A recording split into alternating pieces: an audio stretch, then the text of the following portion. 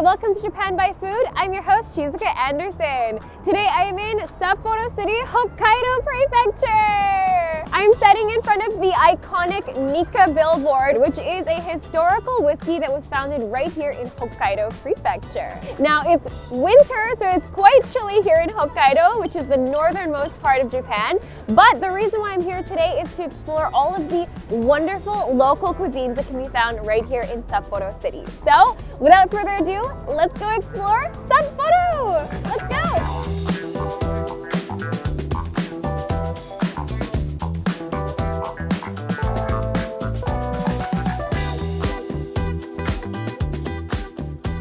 All right, so our first local food of the day is Mongolian barbecue, which is a really, really popular dish here in Hokkaido, especially in Sapporo City. And here, it's actually known as Genghis Khan. This is the local word for it, and it comes from the name Genghis Khan, which is the famous Mongolian emperor.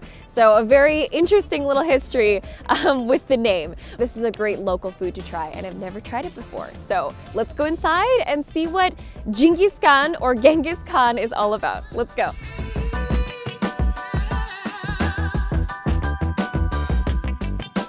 はい、よろしくお願いします。まずあのちょっと自己紹介をお願いしてもいいですか？えー私はここの2代目の女将です。はい、 城澄子と申します。なぜこのレストランが最初にオープンしたかはわかりますか？で一番最初は母が、えー、と生活に苦しいので何か商売ないかなって言った時に羊を牧場を経営してた人たちとか、うん、そういう人たちが毛を取るのに羊を買っていたんですね。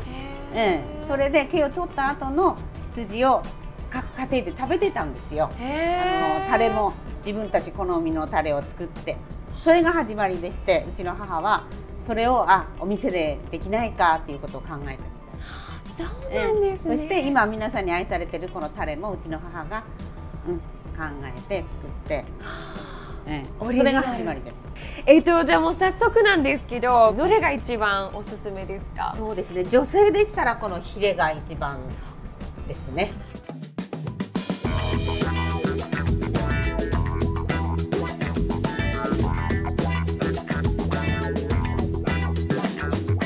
right, and then we have our meats. So she said that the most common one traditionally is this one.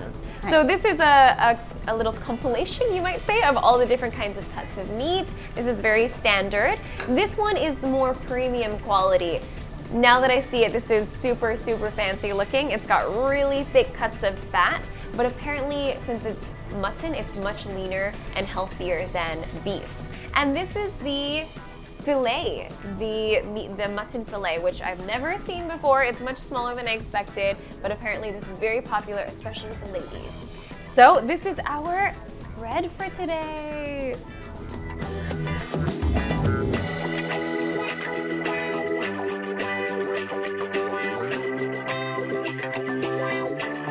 They're already grilled up. They grill really fast. So I'm gonna take the filet. It looks so juicy. I'm not gonna lie, I wasn't expecting sheep meat to be this juicy. Okay, here we go. This is my first ever sheep or mutton meat. Here we go. Itadakimasu. はいうん結構柔らかいです柔らかいねで。しょ That was a little bit unexpected. Um, to be honest, it tastes a little bit closer to beef. And it's super juicy, very tender, and it only gets that soft because it's the filet meat, and it's very rare to get that. That is fantastic. Super good. I recommend it. So this is the shoulder part, and it's a really premium cut of meat. This is probably the most expensive one on the menu. So I just had to try it because why not? You gotta, you gotta try the top one. So here we go. Let's dip it in the sauce and give it a taste. Itadakimasu. Mmm, that's really good too. It's like steak. I think the filet is a very special case. It's super, super melt in your mouth soft. This one is chewier. It definitely gives that steak-like vibe. It's smoky, it's flavorful. I think cooking it on the, uh, the charcoal is, is the way to go. It's so, so good. Now it's time to try the homemade Mama's kimchi. This has gotta be good.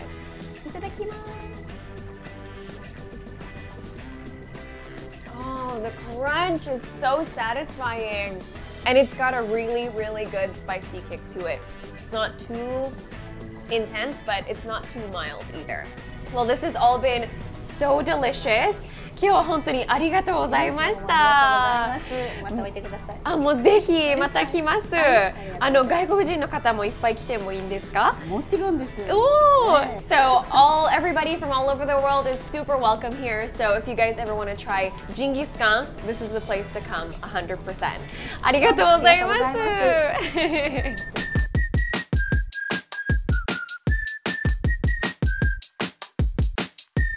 Alrighty, my next stop of the day is Kaiyotei, a popular seafood restaurant here in Sapporo City. So I'm here today to try probably what is the king of all of the delicious seafood in Hokkaido, their delicious Hokkaido crab. So this is kind of their specialty here. So let's go inside and try some delicious, fresh, fresh crab. Let's go.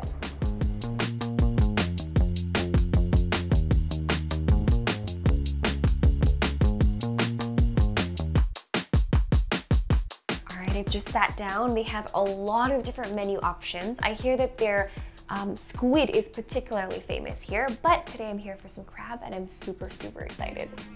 ではまずあの簡単に自己紹介をお願いします。はい、えー、と私西川と申しましてこの函館海洋店の店舗の統括といいますか管理マネージャー業務のようとしております So, I often hear that Hokkaido is very famous for its crab, but I'm really wondering why is Hokkaido crab so popular? あの北海道の海で取れるカニはその日本の中でもすごくサイズが大きくて美味しいって言われてるカニなんですよ大きいものだと1キロを超えるようなものもありますので本当に見るとこんなに大きい That's amazing. A kilogram of crab. Uh, like a kilogram size. I've never seen that before, but apparently those can be found here in Hokkaido. So, without further ado, I'd love to try some Hokkaido crab dishes. Wow, look at this, you guys. An amazing seafood spread.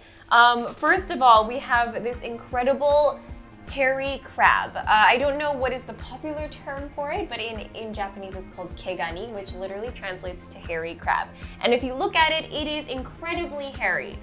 See, I really am not good at this. I hope that this looks appetizing to you because I can't do it properly. Ooh, that looks so good. Here we go. Itadakimasu. Hokkaido crab. Right off the bat, very, very flavorful. And there's no sauces, um, any special seasoning. I think this is more or less just its natural flavor. Um, I'm gonna go ahead and try a little bit of the kani miso, even though I'm, I'm gonna be honest, I'm not that excited about it. But let's do it, you guys. We gotta try the kani miso. Itadakimasu. That's not bad. That's actually really good. There's no bitter aftertaste. It actually tastes really, really creamy. I actually quite like it. I'm very surprised, pleasantly surprised. Next, I'm gonna try the kani kurimu korokke, which means crab cream croquette. Let's give it a try. Croquettes, I love them. Itadakimasu. Mmm. Oh, I like that. Uh, creamy, like kind of crab cake style croquette. All right, so our final dish of this shop for today is our unigiri, which is a little play on the words onigiri, and uni, which is sea urchin. So it's a sea urchin rice ball, which honestly I have never ever seen in my life. Here we go. Itadakimasu. Mmm. Mmm. Oh my god. Mmm. Mmm. That is really good. It's definitely like a full mouthful. And what's really decadent about it is the fact that you get so much uni in one bite. But we actually have one more shop to hit up after this with a famous local Sapporo cuisine. So I'm gonna finish up my food and then let's head over there. All right, I think we're getting close to our last stop of the day. Yes, here we are. This is Shirakaba Sansou, a ramen shop that serves Japan's most famous type of ramen, miso ramen. So let's go inside and give it a try. It looks absolutely delicious. Here we go. Konbanwa. oh. Oh. So, oh. ありがとうございます。はい、ゆで卵サービスです。どうぞ。わあ、すごい。Oh my goodness, he just gave me a boiled egg. I've never had that before at a, at a ramen restaurant. 卵食べ放題っていうことで聞いてたんですけど、今でもそうなんですか今はね、前コロナになってから、ここにたくさん置いちゃダメだよって言われたんで、こっちに置いて準備してるんです。もしもう一つ食べたかったら、言ってくれれば、あげますよ。わあ、嬉しい Wow, that's amazing. So normally he has a giant bowl of eggs on this counter and normally you can eat as many boiled eggs as you want to. I've never seen a shop that does this before. I'm wondering, so how long have you been running this shop for? ここの場所では13年ぐらい経ちます。 13年。おで、最初の本店がスタートしたのはもう24年ぐらい経つかな。 So I know that miso ramen is very, very famous in Hokkaido, but especially Sapporo City. But I've never known why it's so famous. Do you know the reason? いろんな話があるみたいなんですけど、え力仕事をしてた人が、えー日本では豚汁っていう味噌スープ、Oh. 野菜がたくさん入った豚汁っていうものを飲まれていたんですけど、その中にちょっと麺入れてくれよと、お腹いっぱいにもなるし、っていうのがスタートっていう話もあります。えじゃあ味噌スープから味噌ラーメンになったっていうそうい感じ。う話が僕は聞いたことあります。あ面白い Alright, so now I'm gonna try miso ramen. I can't wait because it's not so often you get to try miso ramen right where it all started and where it's most famous here in Sapporo City. Alright, here we go. So we've got our delicious miso ramen, and of course we have our egg. So I'm gonna crack my egg in the bowl, peel it. So our ramen expert Frank, who's made a bunch of ramen videos on our channel, if you want to check those out, he always recommends to start with the ramen soup because that's kind of the base of the ramen. So let's give it a taste. Itadakimasu. Mmm, めちゃくちゃ美味しい. Oh, I really like that a lot. So it's super, super creamy. Um, you get a lot of like the meaty fats mixed in there, which makes it so rich. As is Hokkaido Sapporo style, they add a little bit of hot pepper in there and a lot of garlic, which both of which I love. So you get a little bit of a kick, and that's not something you normally get in Tokyo. So this is fantastic. All right, next it's time to enjoy the delicious noodles. So let's try and dig in. Ooh, check out those noodles! Those nudes. Here you go. Itadakimasu. Oh, that is so nice. The noodles are so delicious. They're so chewy. So they really, really taste, um, I want to say like almost a little bit eggy. Like you can really taste that chewy doughiness of the, of the noodles. It's really, really nice.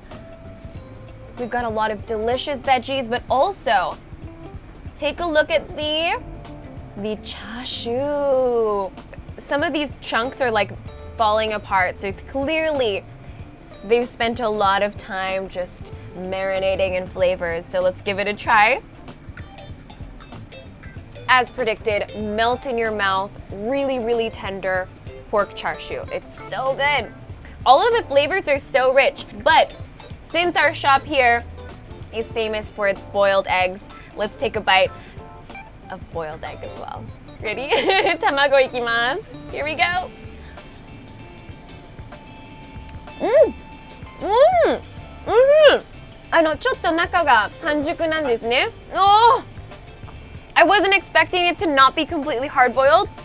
It's so good. Ah, I could eat I could eat this almost I think every day.